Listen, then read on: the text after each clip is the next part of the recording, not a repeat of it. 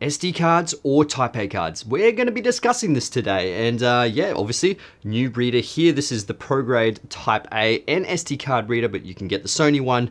But obviously, Type A is your Sony proprietary card, and you've just bought the FX30 or A7 IV, and you're like, do I need a Type A card or could I get away with an SD card, the V30s, 60s, 90s? What do I buy? What actually works in which recording state? We're gonna be talking about that today because I know there's a lot of you guys out there with that exact question and I really hope I can help a lot of you guys out in this whole debacle of which cards you actually need and which is good. So yeah, we got a lot to get through, but this video is actually sponsored by Storyblocks. So thank you for Storyblocks for sponsoring this video. They are an all-in-one platform where you can get a whole bunch of templates, uh, motion graphics, video templates. You can pretty much find anything you need to make your video stand out with a library of over 1 million 4K or HD footage clips, templates, music, sound effects, images, and more. You can pretty much have unlimited downloads and you can easily test out effects, clips, and tracks to enhance your videos to create your vision and bring it to life. The great thing about this is it's all royalty free. You don't have to worry about any copyright strikes, which is great for content creators and especially for businesses out there that want to be able to utilize this with their client work. And motion graphics. Motion graphics I've been using a lot from Storyblocks and I actually didn't know that Storyblocks had motion graphics before this and uh, it's been really good because this is pretty much how I get all my titles and all those kind of things to make it look, you know, much better because I don't know how to use motion graphics or create them from scratch. And I think the newest thing and greatest thing about Storyblocks is the Premiere Pro plugin. Now, I use Premiere Pro and you can actually have a plugin where you can search, drag and drop directly in Premiere Pro. So you don't actually have to go out to your search engine and try and find all this stuff and bring it to Premiere Pro. It just makes it less complicated. It is amazing. So utilize my code at storyblocks.com forward slash Jason Morris or the link in the description below so you guys can check it out for yourself so you can not worry about any copyright strikes all those kind of things, get quality content for your videos. Thank you Storyblocks for sponsoring this video. Let's get back into this about talking about Type A cards and SD cards for your FX30 or any other Sony Alpha camera. So the first card we're going to be starting off with is the SanDisk Extreme card. This is an SDHC, so it's a U3 and it's a class 10.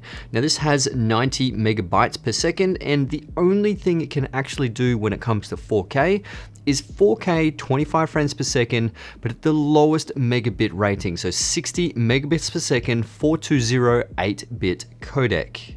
And switching it into S&Q mode and it can't really seem to do any slow and quick functions. So now I'll put a SanDisk Extreme Pro, a V30 card, and it's an SDXC card. It's 95 megabits per second, and we're in XAVC S 4K, and it can do 4K 50 frames per second at 200 megabits per second at 422 10-bit. And it can't do any all-I codec, now, when it comes to XAVC HS codec in 4K, you can do the same up to 4K 50 frames per second at 200 megabits per second.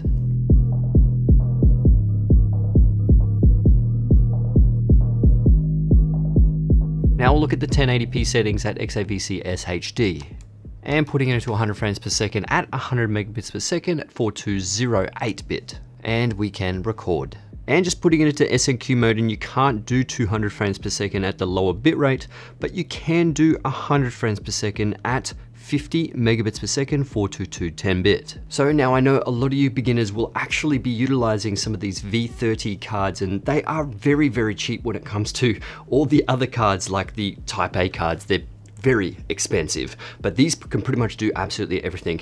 These ones are limited, they at least give you 4K 50 frames per second, and you can even get that HD at 100 frames per second, but you know, that's pretty much limited to that, so if you do want better recording codecs and stuff, you're going to have to go V60 or V90, which we're going to be talking about right now. So in the V60 cards, you can pretty much record all the codecs except for the All-I codec. So that's the XAVC SI in 4K and in HD. Now switching it over to S&Q mode, and this is just in regular XAVC HD. You can actually do up to 100 frames per second in 50 megabits per second, 422 10-bit. Now when it comes to S&Q mode and filming at 200 frames per second, you can do that, but it must be at 16 megabits per second, 420 8 bits. You cannot record any higher bitrate or 10 bit. And similarly, when you go into XAVC-S at 4K, you're able to do 100 frames per second, but you have to choose the lower bit rate. So it's at 60 megabits per second, 420 8-bit. You cannot do the 100 megabits or the 140 megabits per second with that 10-bit codec. Now, when you actually place this into XAVC-S in 4K, you can actually film up to 100 frames per second in that S&Q mode at 140 megabits per second, 422 10-bit. Now when it comes to the V90 cards, this is the card that you can pretty much film absolutely any codec when it comes to the normal filming codecs.